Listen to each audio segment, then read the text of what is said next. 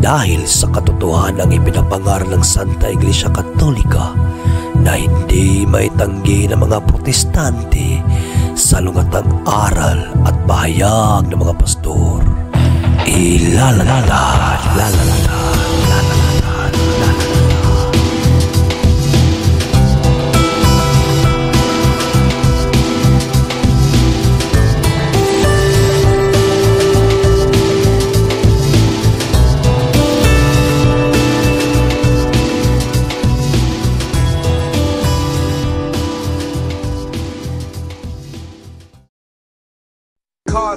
saw simple hand.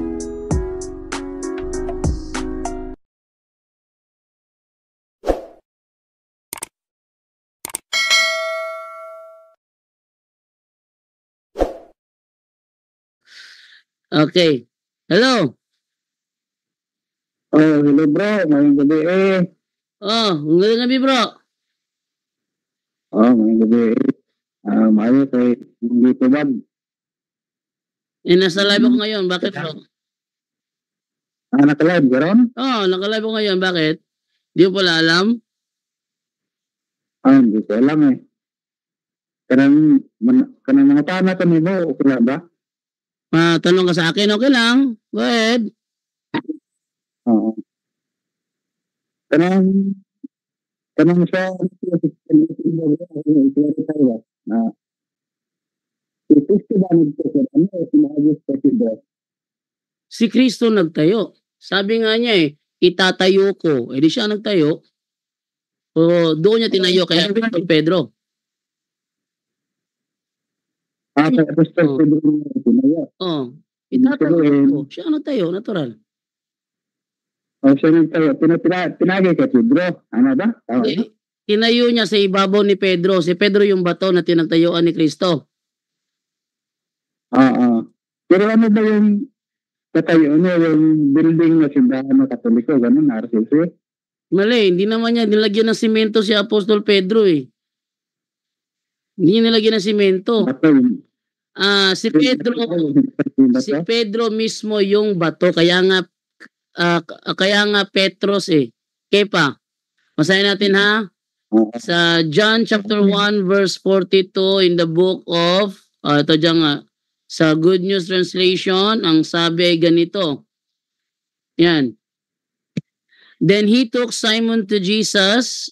Jesus looked at him and said, Your name is Simon, son of John, but you will be called Cephas. This is the same as Peter and means a rock. Oh, kaya pala, kaya pala Kepa, kasi siya yung bato. Sa Aramaic New Testament, dalawang Kepa nakalagay dyan. Dalawang Kepa. Yung Kepa na si Pedro at yung Kepa kung saan tatayo ang iglesia.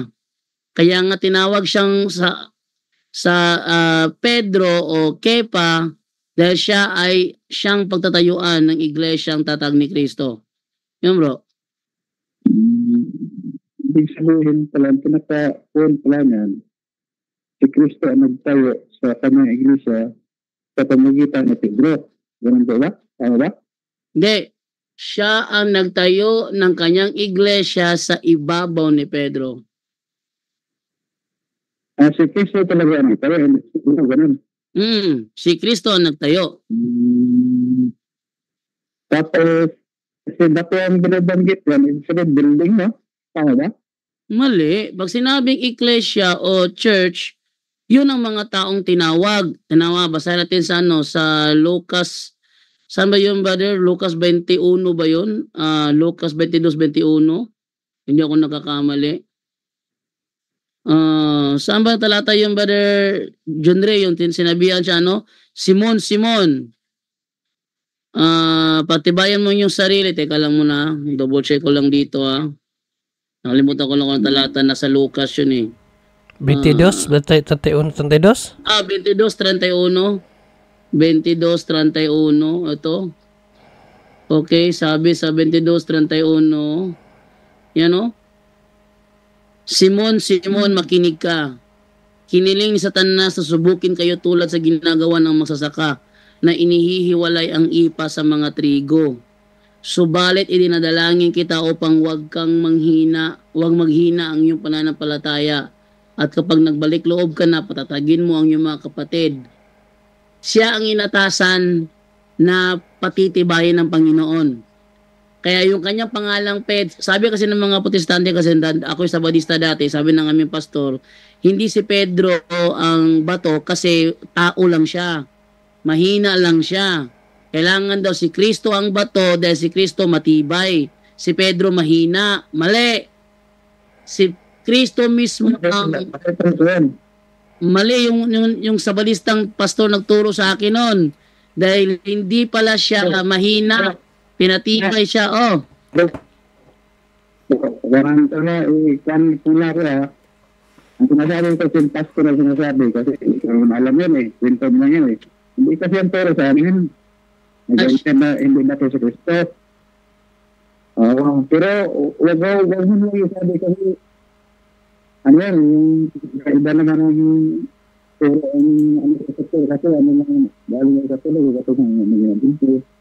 Pero tulad sa turo talaga sa ano, alam ko, ang turo sa amin, si Kristo iba ko, at si Kristo iba sa inyo, si Kristo iba sa mali. Eh, pero ang turo sa amin, pero yung sinasabi yung pastor, hindi kasi alam yun eh. ay mali bro. Kulang ko lang, sa Ah. totoo yan, hindi. Mali bro, Y- yung sinasabi nila bro, parang alibay na lang yun. Bakit? Napanood ko yung pelikulang ano ha, sa example ko lang ha, na sa, sa, sa English, hindi porkit rock, kailangan talaga malaki talaga in the essence. May mga pagkakataon sa English na yung rock ginagamit sa ganito lang kalaki oh. Ito lang kalaki, maliit. No? Mahawakan mo lang. Magbigay ako ng example. No? Ako. Bibigay ako ng example doon sa napanood ko na Moana. Moana, yung hawak ni Moana yung ano, yung sinasabing heart of Tifiti. Sabi nung tatay niya, hindi yan heart of Tifiti. Yan ay that is only a rock. Tapos tina, tinapon ng tatay niya.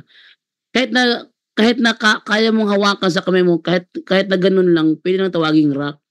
So hindi sa lahat ng pagkakataon, pag sinabi mong rock, kailangan sobrang laki talaga. At ang stone ng maliit. Eh paano ngayon yan? Si Kristo, tinatawag si Kristo, chief cornerstone.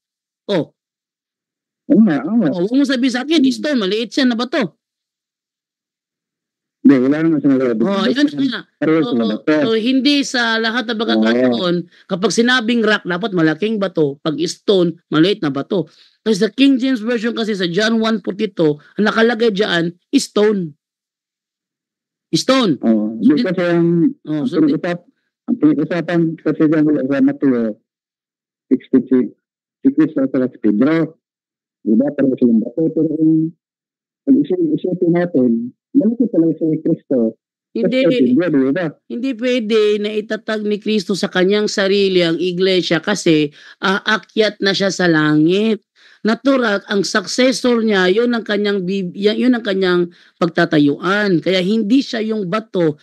Si Kristo, bato si Kristo. Pero hindi siya yung batong tinutukoy sa Matthew 16.18 na siyang pagtatataga ng iglesia. Basahin ko ha.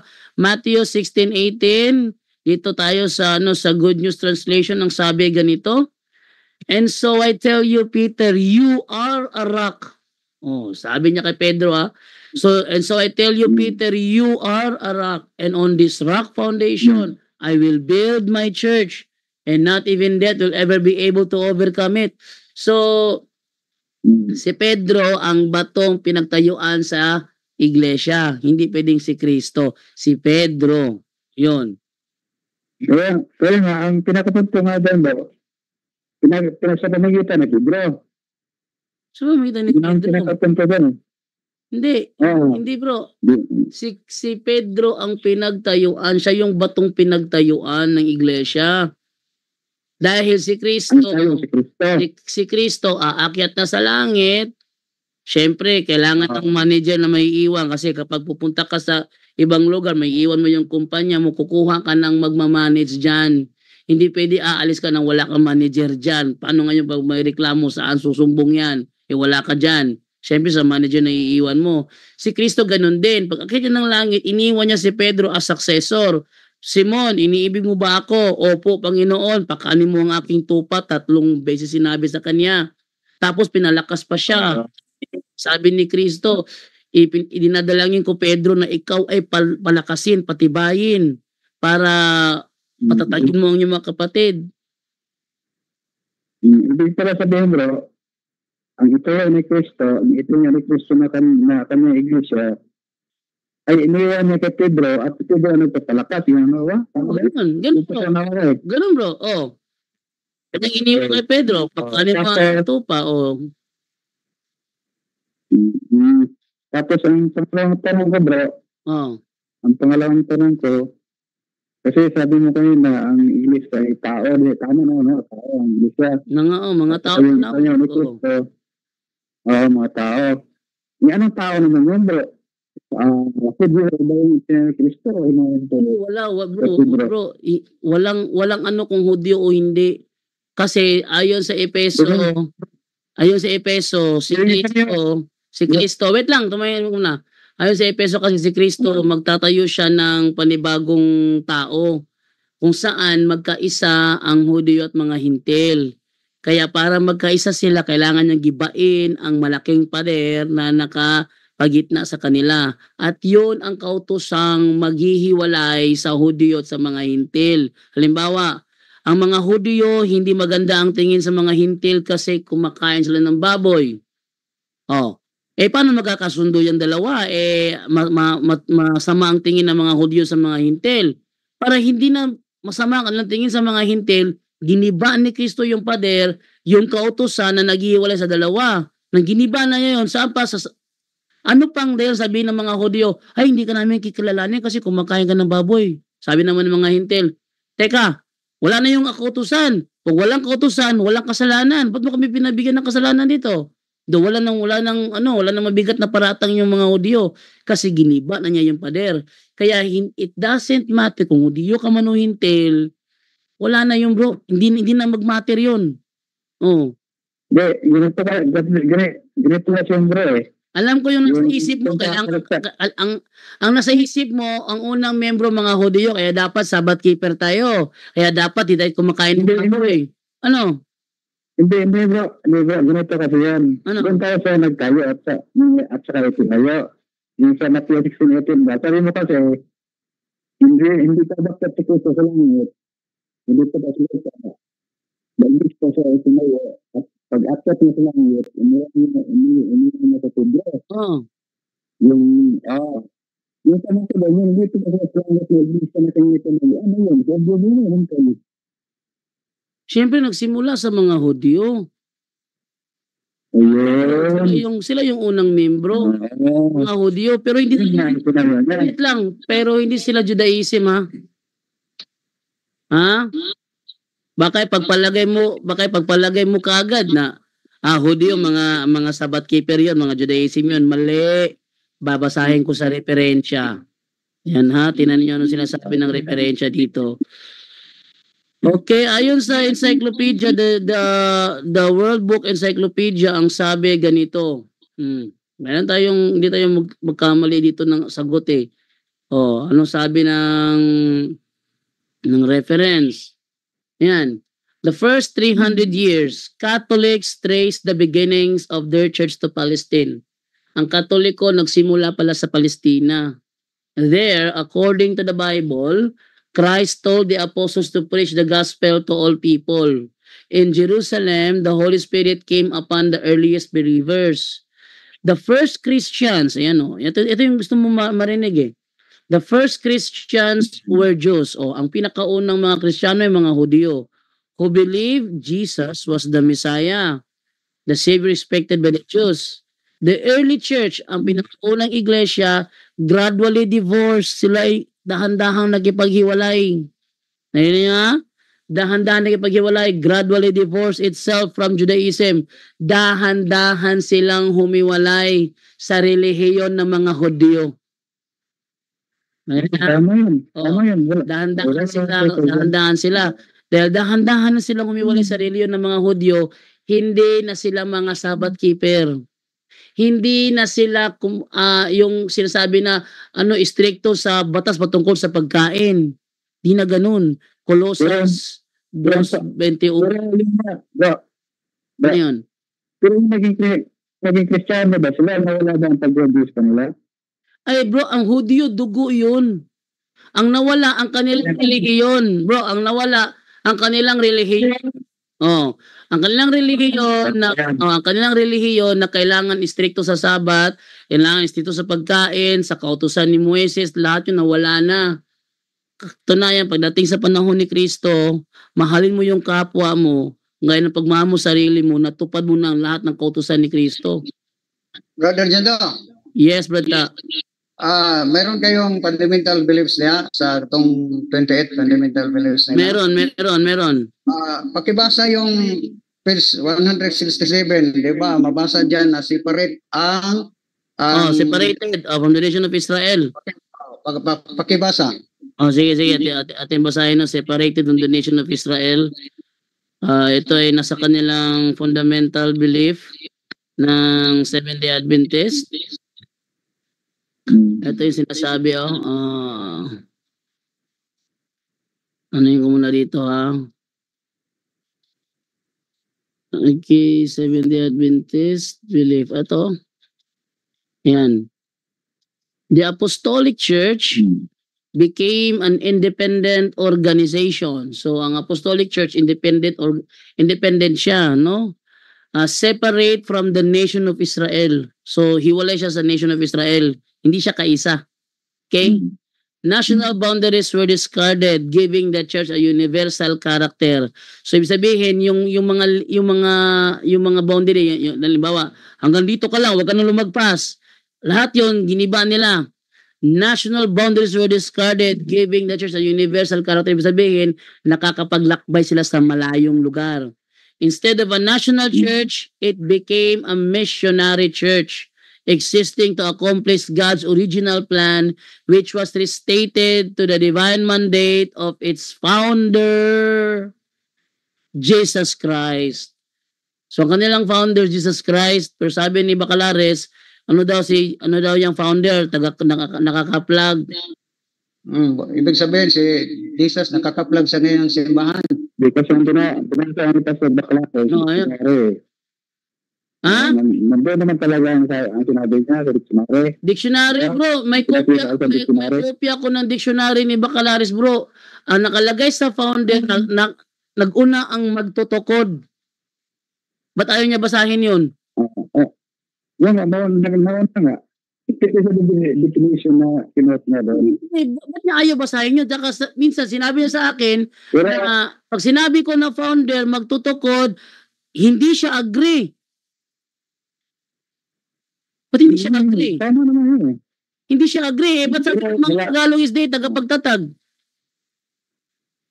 Paano ngayon mo Okay papaliwanag? naman. Yung wala, Anong okay? Hindi okay yun. namang problema. Hindi, ano, ano wala problema? Napalaka, napakalaki problema. Ang sabi ng mga Tagalog is day, si Ellen G. White is one of the founders. ah Isa siya sa mga Oh, tagapagtatag. eh. Tagapagtatag. Oo. O, unsay Bisayas tagapagtatag? Pero, De, unsay pero, pinaliwanag niya, unsay Bisayas Paliwanag yung Pastor Bakla. Yun ang yung paliwanag Pastor Bakla. Right? Yung tatanungin mga tayo din ang sagot ko. Kung Eh, sinabi niya. unsay Bisayas sa tagapagtatag? Yun, yun ang sabi niya. Anong sabi niya. Di ba? Napanood mo na yan? Wala, wala siya sinabi niya. Pinaliwanag yung Pastor eh. Wala. Ha? Wala, wala siya nga. Kung hindi ako bumili ng kopya, hindi hindi mabubuking na meron palang magtutukod sa ano, dictionary. Nagkatag. Di, sinabi niya nagtutok eh. Di ba? Isa lang yun eh. Ha? Sige sa'yo. Brother Jando, Magtutukod, eh bakit sinabi ni Bacalaris na hindi siya agree? Wait lang, parang nagpi-feedback ah. Uh, balik tayo doon sa ano natin. Kasi. Brother Jando, Dapat tanongin niya. Di Oo. pwede magkatanong niya. Okay, binaratis natin eh. Yung tayo na daw, yung ibang topic, yung tayo lang. Huwag natin po usapan yung iba. Ay, maganda yung bro kasi bro, maganda yung ating i- pag-usapan yung ibang tao. Alam mo kung bakit? Kasi yung mga turo kontra-kontra. Yan, Ang maganda nga, Jando. tumawag ko lang sa kanya para maganda. Hindi sa atin. Ah, tinawagan ko na ngayon kami kasi. Ah, Brother Jando, Ah, bado tata. Oh, uh, tanong ko lang sa kanya, marinig ba ko, marinig niya ako? Sige, bata, go ahead. Marinig ka na niya. So, kung si Ellen Goldlight hindi ang nagtatag ng SDA, sino ang nagtatag ng SDA? Hmm. Sagot, bro. Bro, ito bro, sabi, sabi, sabi lapit ng mic bro. Ayan, ma- ma- malakas siya, malakas siya. Naririnig, makikita ko naman yung ampas ng ano eh. Okay, kung para sa iyo hindi si Ellen ang nagtatag ng SDA, sino ang nagtatag ng SDA? Dito bro, si Kristo. Ha? Saan mo nabasa yan? Na Si Cristo natatag ng SDA. Ah, Malaki problema 'yon. hindi, wala, wala naman point na SBA na pangalan talaga sa Google at ating mabasa. Kaya ang pinapulit dyan, ang SBA, ay mula talaga sa pasimula. Kasi, Bro, bro, Brother Lindo, Sabi niya, ba, Lindo. Sa, sa, ibig sabihin, inaamin niya walang mabasa sa Biblia na si, si Kristo nagtatag, nagtatag ng SDA. Inaamin niya, di ba? ah, Okay. Kung meron akong mabasa sa Biblia ang tinatag ng ni Kristo ang Katoliko, alin natin panaluan? Kayong mabasa namin o yung hindi mabasa? Bro, makinig mo na kayo sa akin, may silita pa nga ako. eh. Nagtatanong kayo, tapos tumasagot niya. sige, So, sige, sige, go ahead, bro. Sige, bro. Sige, bro. Sige, magpali, magpalusot ka, bro. Bro, magpalusot ka, go ahead. Oh, wala, wala pa siya. Sinabi niya na hindi, sina, may sinabi ako na hindi sa Kristo nagtatay ng SBA. Wala pa ako sinabi niya noon. Nagdadagdag kayo. Hindi, hindi. Ang sabi mo, bro, si Cristo ang nagtatag ng SDA. Sabi mo, di ba? Di ba yun? Oh, ang tanong, bro, ang tanong, bro, ang tanong, bro, kailan tinatag ni Cristo ang SDA? Ay, sa pasimula pa yan, bro. Sa pasimula, eh kung, kung iparinig, Kasi, Ano ko iparinig ko sa iyo na sinabi mismo ng inyong mga tagapangaral na 1860 lang lumabas ng SDA. ah, yung pag-restro yan, bro. Ah, nirehistro. Tatag talaga. Pakinggan mo. Parinig natin. Ito. Mula sa 0917-839-9322. Kailan ba nagsimula ang Seventh-day Adventist?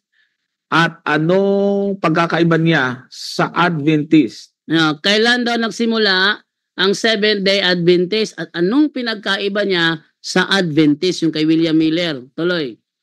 Magandang Ah, tanong to. ah, sige. Di ba si Ellen G. White nagtayo ng simbahan na ito? 863. So, unang-una, Brother John, nung sa una muna. To- unahin, gusto ko unahin yung bandang huli kasi ah, para makita natin yung kabuuan Sige, ng sige, sige. sagutan. Ano ho? Okay. Ah, si Ellen White po ay isa po siya, one of the founders. Ayan, hindi ho siya lang Ano daw? Ano, ano sa Ellen G. White? One of the founders. Huh? ang nagtayo ho nito, Oh, hindi siya lang ang nagtayo. kundi siya po ay isa sa tagapagtatag ng ah, samahan po Ayan. ito. Ayan, tagapagtatag si Ellen G. White. Hmm. Eh, an- ano yung Yung tagapagtatag sa Bisaya, bro? Ano yung tagapagtatag, bro, sa Bisaya? Kasi ganito yan, bro. ah, Ganito yan, bro. Ko. Sagutin mo na, bro. Ano, kasi itutuloy ko, itutuloy ko pa yung video eh. Itutuloy ko pa yung video. Bro, itutuloy, bro, itutuloy ko pa. Itutuloy ko pa ang video. Wait lang, wait lang muna. Itutuloy ko pa ang video. Ano sa Bisaya ang tagapagtatag?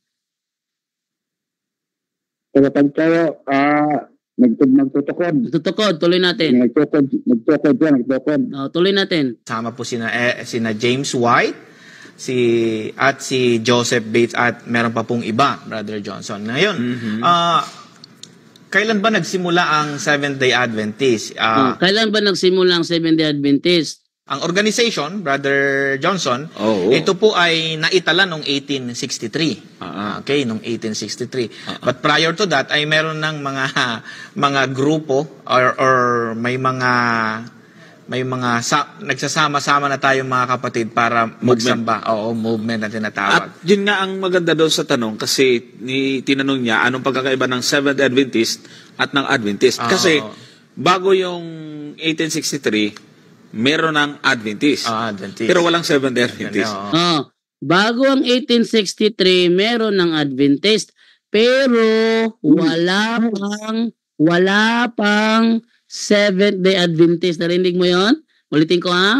Anong pagkakaiba ng Seventh Adventist at ng Adventist? Ah, Kasi bago yung 1863, Bago yung 1863, meron ng Adventist. Ah. Meron ng Adventist. Adventist. Pero walang Seventh-day Adventist. Pero walang Seventh-day Adventist. Oo. O, kaya maganda na ilin, nalilinaw rin niya. Kasi sa history, ah, ang grupo ni William Miller, Pastor, ay tinawag na Adventist, Adventist. Advent Movement. Oo. Yun. So yung Adventist pala, before eight, before ng Seventh-day Adventist, yun pala yung tatag ni William Miller. Kasi Advent movement sila. Kaya ang tawag sa kanila Adventist. Kaya, ang akala naman ng iba, porket merong Advent, Seventh-day Adventist na. Yan. Kaya akala ng iba, gaya mo, akala mo, porket may Advent, at Seventh-day Adventist na, mali. So hindi po. Ang Seventh-day Adventist ay noong 1863. O, ang Seventh-day Adventist ay noong 1863. Sabi ni Johnson Amican, ang Seventh-day Adventist nagsimula 1863. Sa'yo, kailan nagsimula yung sa'yo, bro? Ah, ang, ang 1863 daw, yun yun ang tagamit kay Ellen White.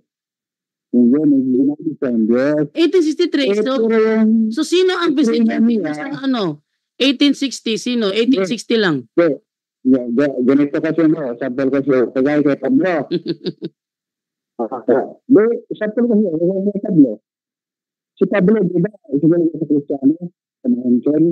Ah, iba si Pablo. Ganun. Bro, bro, bro, iba si Pablo. Bro, bro, wag mo ano si Pablo. Iba si Apostol Pablo. Kasi si Apostol Pablo, never nangyari humiwalay sa iglesia, connected siya sa iglesia. Samantalang si ano, si Ellen G. White hiwalay kay William Miller, si William Miller naman hiwalay sa tunay na iglesia. So wag mong itulad si Apostol Pablo kay Ellen G. White, magkaiba sila. Hindi mo magkaiba. Hindi mo magkaiba. Sobrang eh. magkaiba. Sabi ni Yeah. Apostol Pablo, bawal mangaral ang babae pagdating sa iglesia. O, ba't nang mangaral si Ellen. White? Ma, makinig ka muna sa akin. Makinig ka muna sa akin Ah, ba? ano ba naman to? Sige bro, ikatlong tanong mo bro. Ikatlong tanong mo na lang. Kung gusto mo makipagtala, Oh, kung gusto mo makipagtalakayan sa akin bro, tumawag ka alas 11 ng umaga para solo mong programa. Pero sa gabing ito, marami pang gustong magtanong. Kaya bigyan kita ng limang katanungan. Nasa, nasa, nasa pangalawang tanong ka na lang. Nak ka na. So ano pangatlong tanong mo? sa linggo, sa linggo, yan ang bakante ko sa alas 11. Hindi. O, linggo. Ah, araw-araw. Alas 11 ng umaga, bakante ako. Sabi sa, sa linggo nga, pero bukas at ano, wala kasi may, may business ako eh. Ah, so hindi ka available. Sige bro, bigyan kita ng limang katanungan ngayon bro para makapagtanong ka. Ah, may may lima pa akong tanong o Mm. tatlo na lang kasi may dalawang tanong na ako may dalawang tanong ka na, so tatlo na lang kulang. Ah, tatlo na lang. Yung tatlong tanong ko ay ganito. Ah, kailan naman yung tinatag yung ba may simbahan ng Katoliko rin sa Jerusalem? Sa, Sabi mo sa na- panahon natin ngayon o sa panahon ng mga apostol? Hindi, yung simbahan doon, yung, Hindi, hindi. Klaruhin mo bro, klaruhin mo bro. Sa panahon natin ngayon, di, di, klaruhin mo ha. Sa panahon natin ngayon o Hmm. sa panahon ng mga apostol? hindi sa panahon ngayon, o hindi rin sa panahon sa mga apostol kasi ang tanong kung kailan, kasi di ba sabi mo, may tatlong simbahan doon sa Jerusalem. May tatlong? Uh, Udyo, Udyo, ah Katolik at saka Muslim. Di ba sabi mo ganun? Hindi, hindi. Ang sabi ko, ang sabi ko may tatlong Sabado sa Jerusalem. May tatlong Sabado, Jerusalem. Tatlong Sabado sinabi ko. Pakita ko sa screen ano. Ah, sana kapag ano nag-rebut kayo sa akin, siguraduhin niyo naman sana na yung rebut niyo balido. Okay ha? Pakita ko sa pakita ko sa screen ha. Ah, hindi pala ito ito yung sinabi mo na Ah, Sabado sinabi ko bro. tatlong May tatlong Sabado. Mm, Ba- babasahin ko. eh, wag kang mag ano dyan. oh, sige. Basahin ko. Ito, ito, ito. Pakita na sa screen. Oh, sige. Ano? sige. oh. Basahin ko ha. Sabi dito, Jerusalem is a city of three Sabbats. Friday for Muslim, Saturday for Jewish, Sunday for Christian. Sa Tagalog, ang Jerusalem ay syudad na mayroong tatlong Sabado. Friday para sa Muslim, Saturday para sa Jewish, Sunday sa Christian. Sa Bisaya, ang Jerusalem usa ka syudad nga adunay tulo ka Sabado. Friday sa Muslim, Saturday sa Jewish, o Sunday sa Christian. Yan ang sinabi ko. Mm, ang Sabado, sa Christian, yun yung linggo, ganun. Hindi, Kasi ang Sabado, araw yun. ang ang ang ang sabi ko nga ga- gaya ng sinabi rito ang Jerusalem ay syudad na may tatlong Sabado. May tatlong Sabado. Oo nga. Jerusalem is a city of three Sabbats. Friday ang Sabado ng Muslim, Saturday ang Sabado ng Jewish, at Sunday ang Sabado ng Christians. Ah, yan ang nakasulat yan sa binasa mo. Oo. Oo. Pero doon sa doon sa yun nga, ibig sabihin, meron doon churches na tatlo, may church ng Udyo, may church ng RCC, may church ng Muslim, ganun ba? Ah, kung ang binasa ko Sabado. So, kung gusto mo ng ano ng sekta ah, ng ng relihiyon na pag-uusapan, okay, sa ah, Jerusalem, meron silang relihiyon doon ng Islam. Oh. Meron silang relihiyon doon ng Judaism. At meron silang relihiyon doon ng Christian. Oo. Uh, ayun nga, katoliko yun. RCC. Oh, yung, yung Christian doon, yung Christian doon, natural, sa sentro talaga, katoliko. Yung iba naman na ano, mga dumating lang sa Jerusalem, gaya ng INC, ng SDA, ng MCGI, wala sila sa sentro kasi hindi sila binatanggapin sa sentro, kaya nasa malayo sila. Ah, yung katoliko doon, pero yun ba yun, yun ba yung itinuro ni Cristo o iba? Siyempre Yung, bro, yung simbahan ba? Yung syempre bro, yung, yung Simbahan. ano, yung Iglesia Katoliko sa Jerusalem, yan yung ano, yung tinatag ni Kristo. Kasi, ah babasa ko ng ibang, encycl- ibang encyclopedia, ano, ah, para mas maganda. Sige. ah. Eto, the New Book of Irish Encyclopedia, sabi ganito, the history of the Roman Catholic Church began in an upper room in Jerusalem almost 2,000 years ago.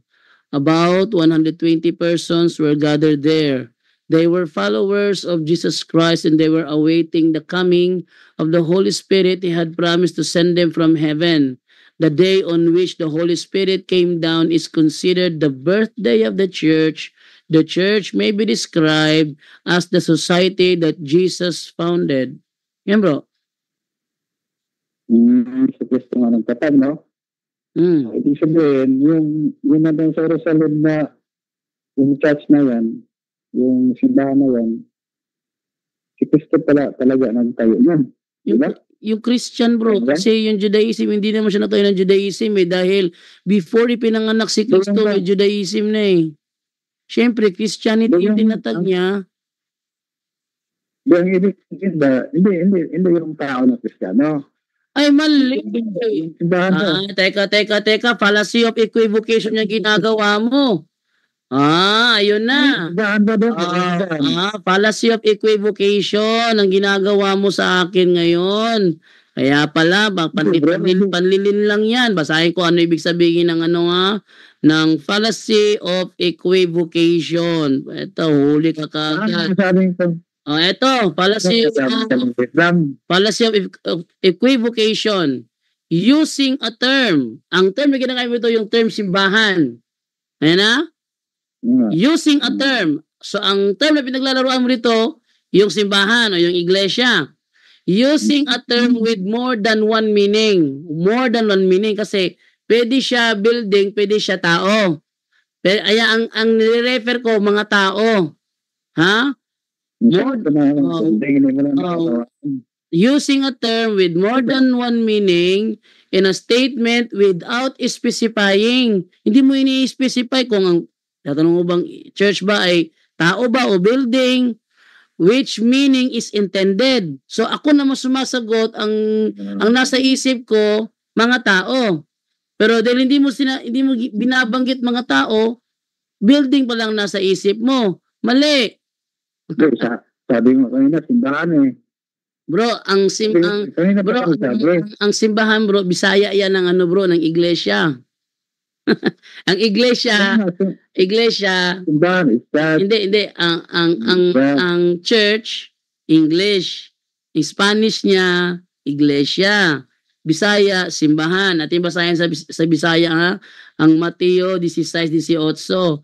O Bisaya babasahin ko pakinggan ninyo ano nakalagay dito. O sabi, Hmm. Bosa sultihan ko ikaw, ikaw si Pedro, og sa ibabaw ni ining bato tukuron ko ang akong simbahan. Og bisan gani ang kamatayon dili gayud makabuntog ni ini. Anang simbahan bro, Bisaya ng simbahan. Tagalog, Tagalog, Bisaya. Eh, Ang Spanish, Iglesia. Ang English, Church. Ang simbahan na tinutukoy dito, hindi building. Mga taong tinawag. O yan. kaya ang, tina- ang tinatanong ko, is building. Ay mali, Simba. mali. So hindi yan ang hindi yan ang ano bro, hindi yan ang iglesia sa amin bro. Ah, eh, fallacy Ah. Fallacy of equivocation ang ginagawa mo. Huli ka na naman ulit. Huli Ibig sabihin ka. ng building doon, hindi, Hindi. yung, Hindi building, relihiyon na sinabi ko. Sabi ko, may relihiyon doon. Tatlo relihiyon. Relihiyon ng Islam, relihiyon ng Judaism, at relihiyon ng Christian. Hmm. Ayan, ikaw Pero talaga. Ikaw talaga, ano ka ha, deceiving ka masyado ha, huli ka na.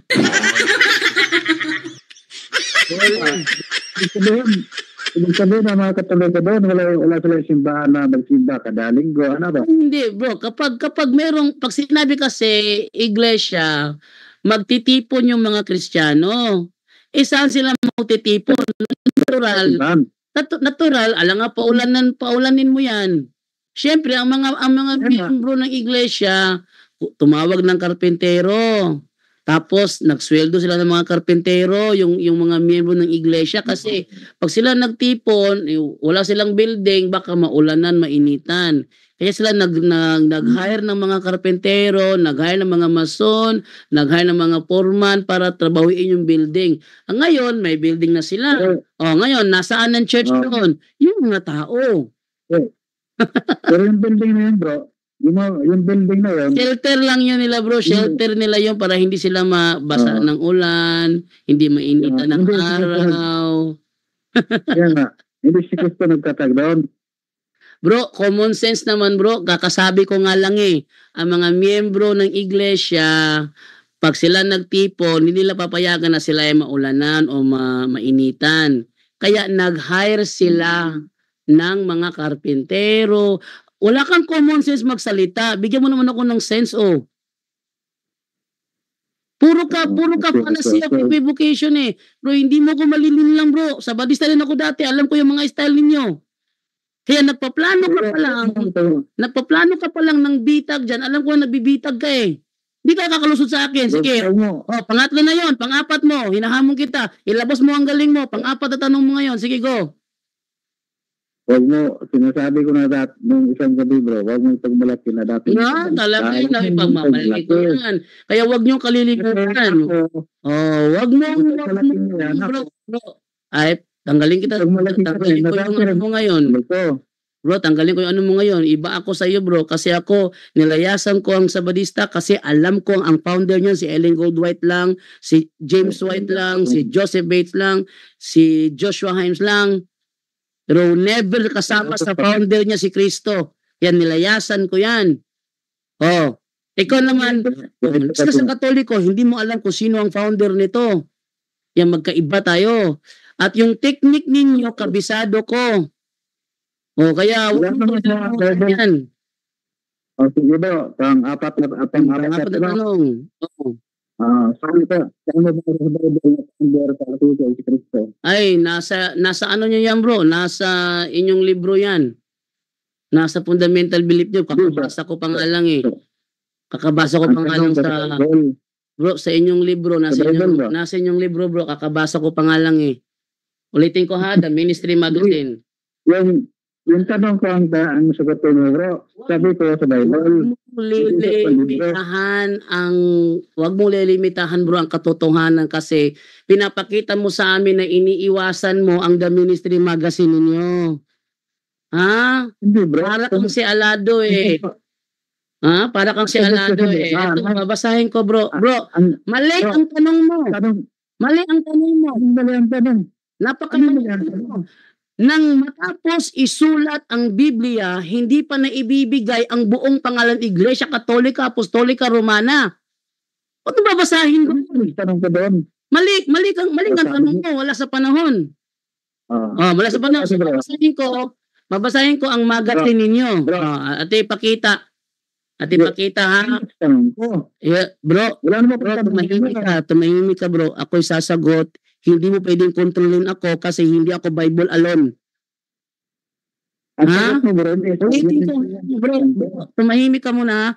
Huwag mo akong kontrolin kasi hindi ako Bible alone. Nasa libro ninyo, nasa libro ninyo ang sagot. Ang sagot sa tanong mo, nasa libro ninyo babasahin ko. Bakit?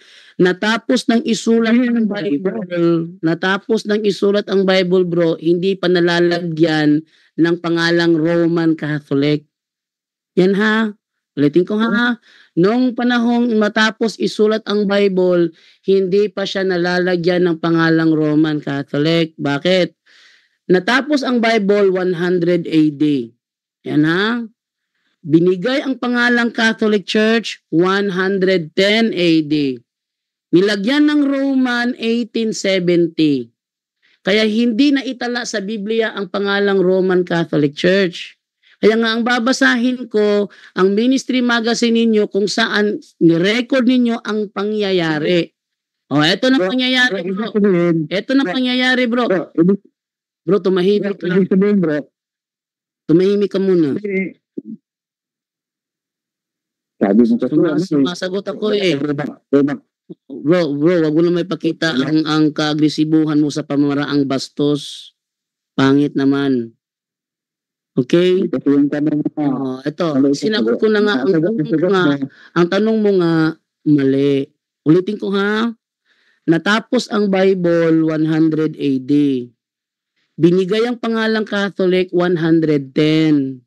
Ibig sabihin, wala nang nagsusulat ng Bible nang ibigay ang pangalang Catholic Church by Bishop Ignatius of Antioch. Yan ha, wala nang nagsusulat ng Bible. Kaya yung pagkapangalan ni Bishop Ignatius of Antioch ng Catholic Church, hindi na naisulat sa Bible yon. Pangalawa, ayan, ito. ah, pangalawa, nilagyan ng Roman 1870. Dahil 1870 pa nilagyan ng Roman, napaka illogical naman na yung pangalang binigay sa 1870 ipapabasa mo sa Bible na hanggang 100 AD lang. Kaya nga mali eh, illogical eh. Kaya ang sabi ko, ang sagot sa tanong mo, ang tamang sagot sa tanong mo ay nasa ministry magazine ninyo. Kaya huwag mong pipigilan. Oh, hindi mo kasi hindi mo maluloko mga nanonood dito. Oh, Okay, babasahin ko ha. Ano sabi? Anong sabi sa inyong Ministry Magazine page 29? The Apostolic Christian Ancient Catholic Church established by Christ and His apostles. Sino ang nagtatag? Si Kristo at ang kanyang mga apostol. Number three, just as soon as this church joined herself to the state, she became the Roman Catholic Church.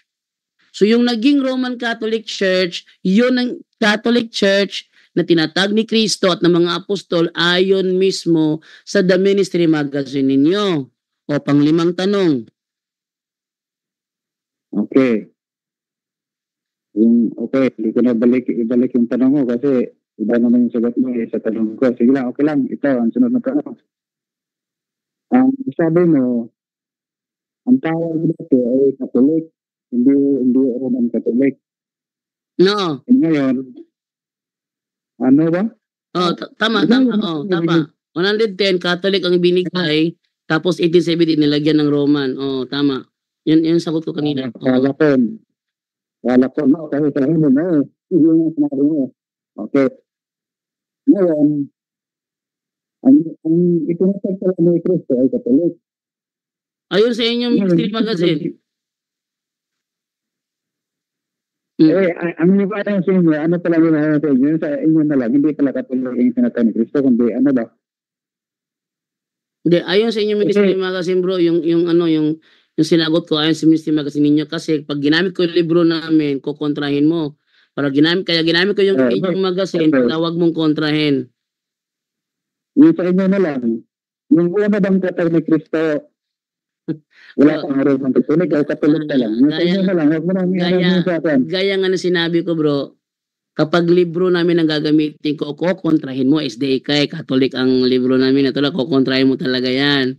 Para hindi mo kontrahin, ginamit ko libro ninyo. Oh, sa kaya magtanong ka, Okay.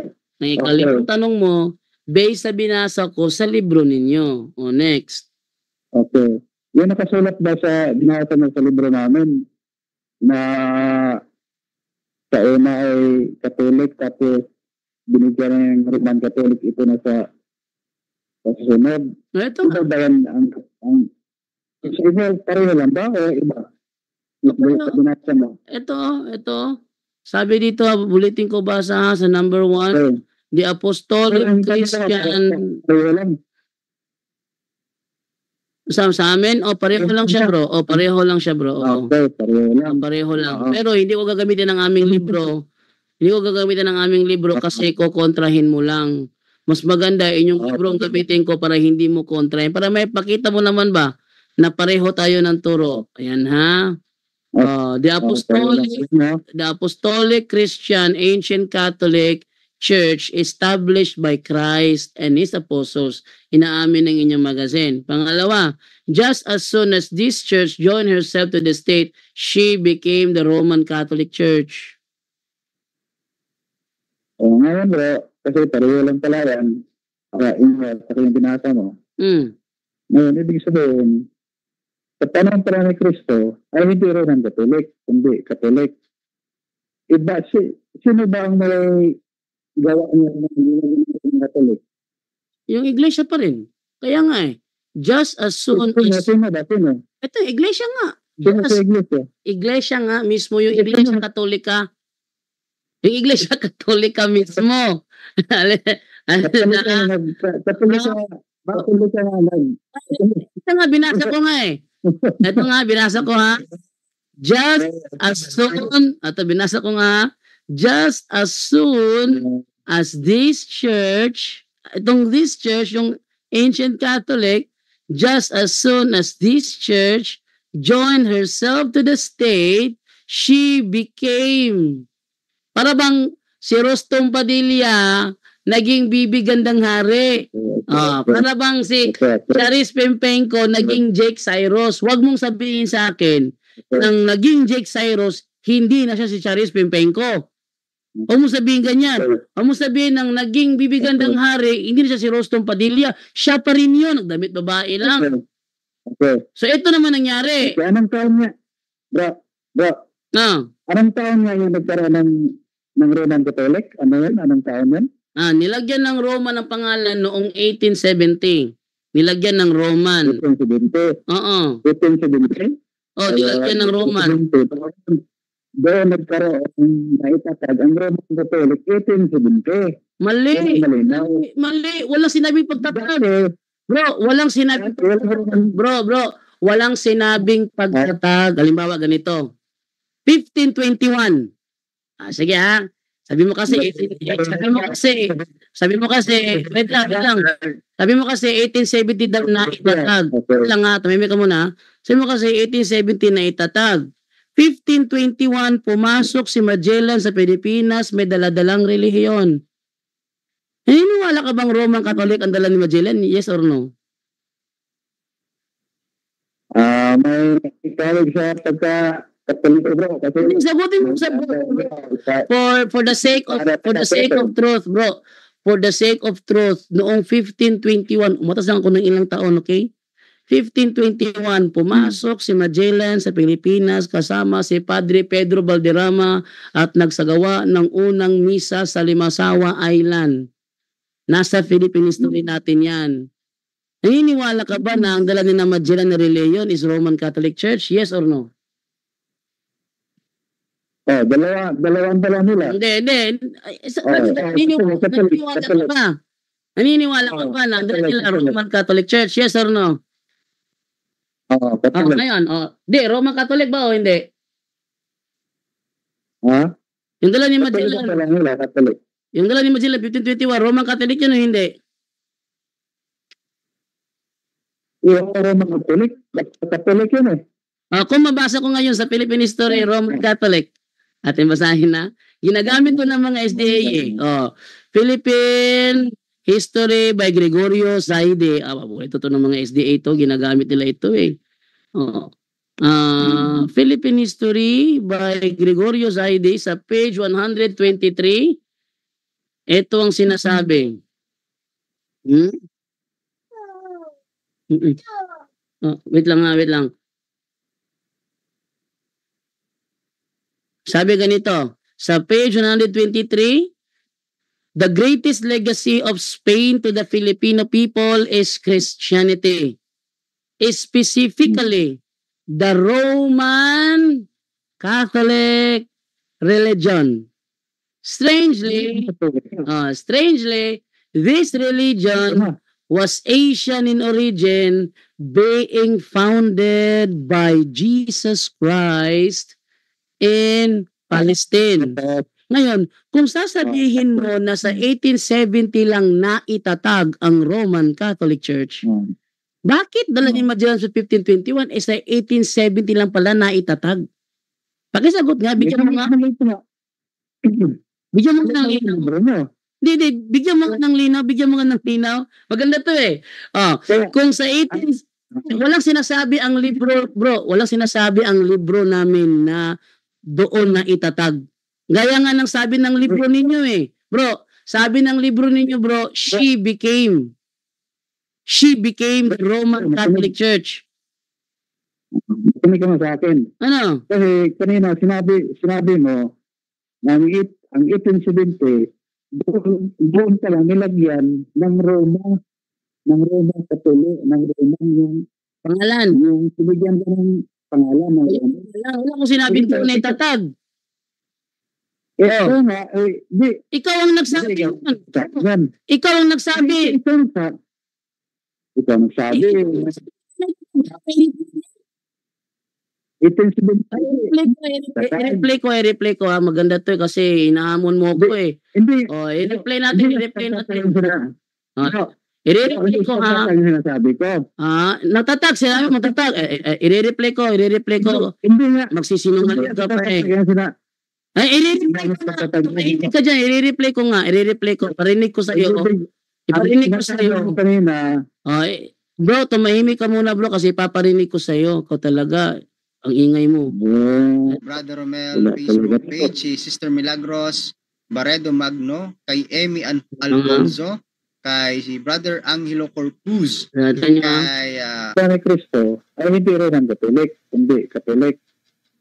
Iba, si, sino ba ang may gawa niya na, na doon nagkaroon na itatag ang Roman Catholic 1870? As this church joined herself to the state, she became para bang si Rostom Padilla naging bibigandang hari.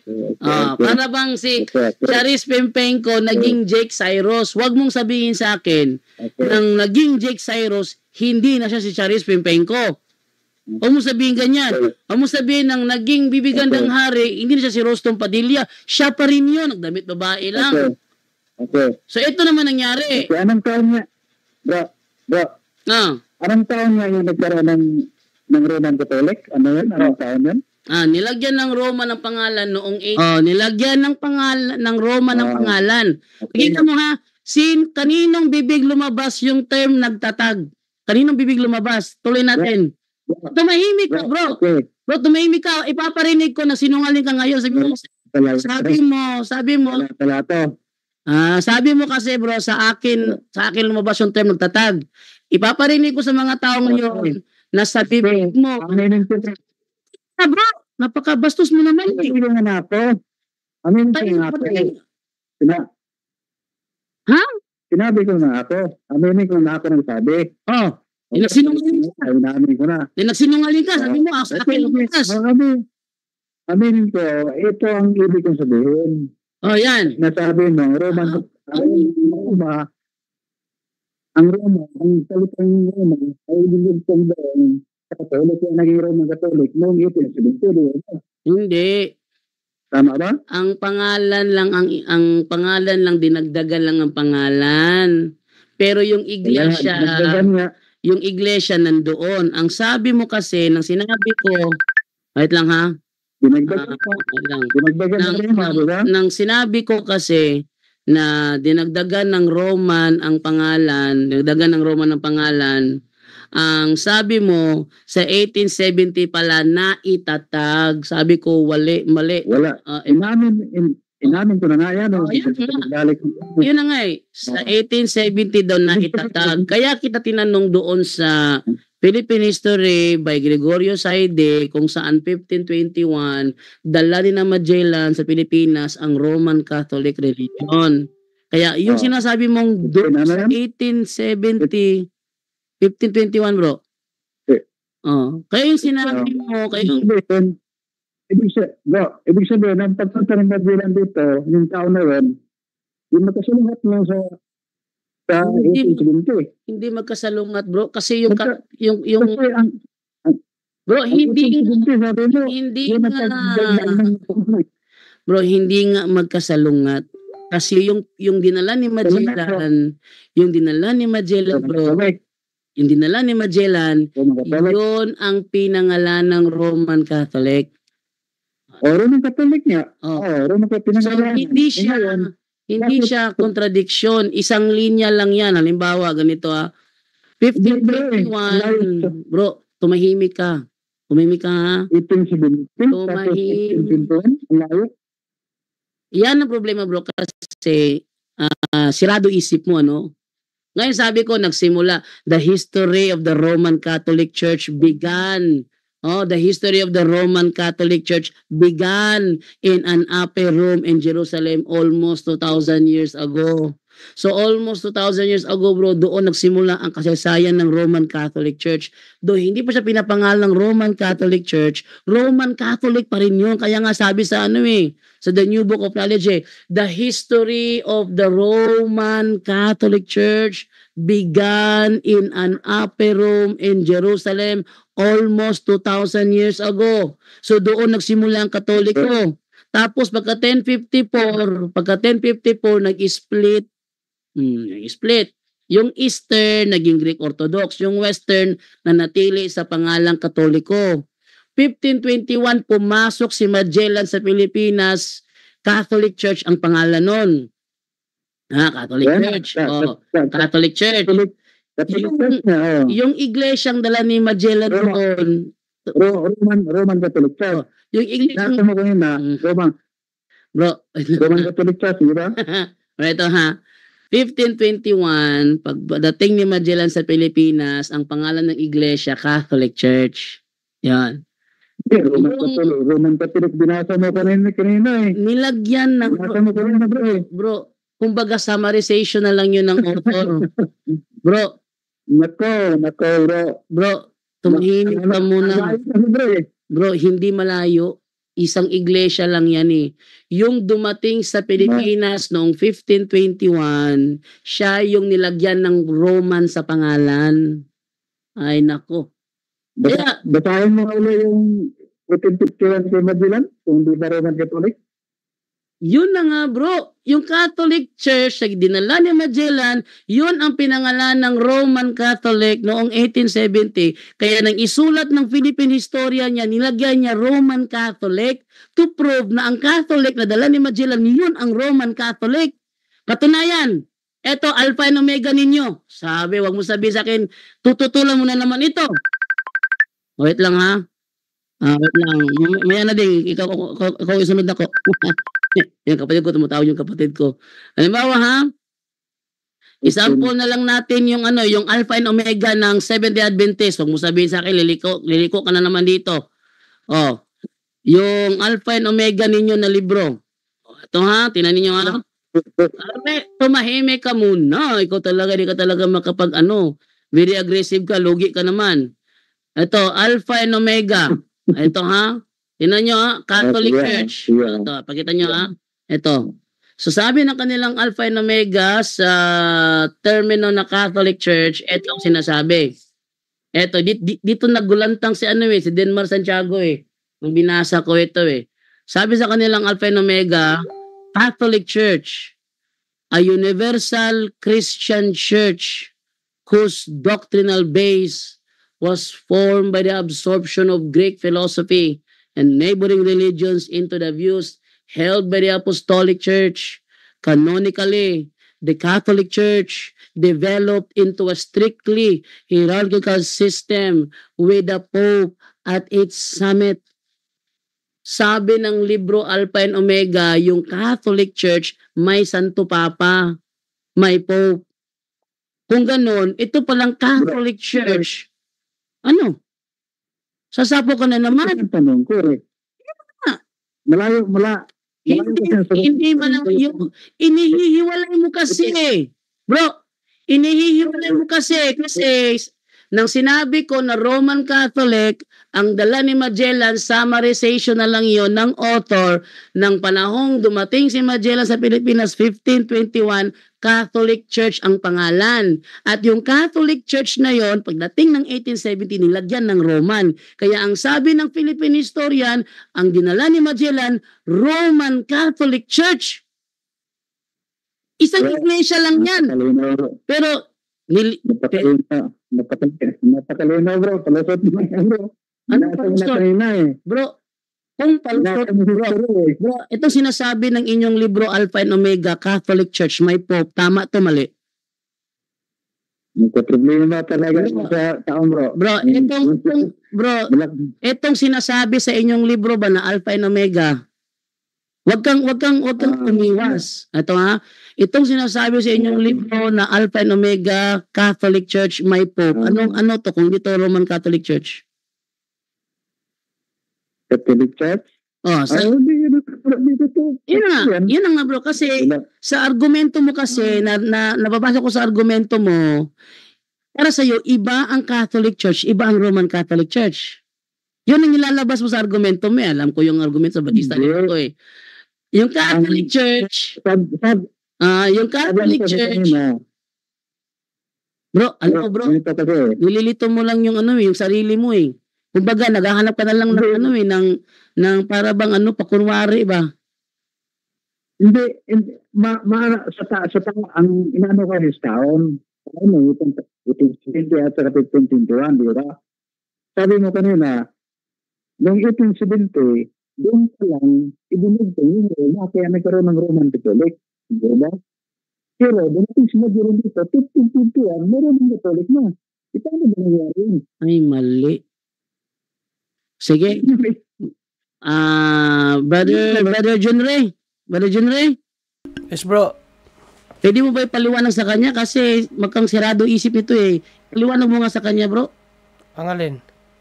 Yung sinabi ko ba na pagdating ni Magellan sa Pilipinas, Catholic pa lang yung pangalan nun.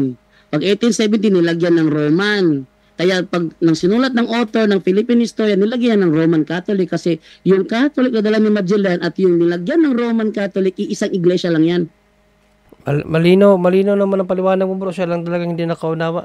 Nakakapagod mag-explain sa taong ayaw, a- ayaw makinig. Yung saradong alam yung saradong utak. Kanina, ka- nung, nakara, nung lodis ka pa nagpapaliwanag sa kanya hanggang ngayon.